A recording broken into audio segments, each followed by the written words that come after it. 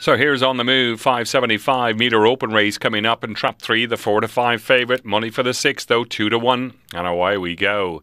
Four and three show early pace from one, five, six, and two is last as they go into the first bend, and it's four now who moves on. Three looks like it checked up there in second, followed by one, five, six, and two, but it's four who passes the winning line with a two or three length lead from four in sec uh, from three in second.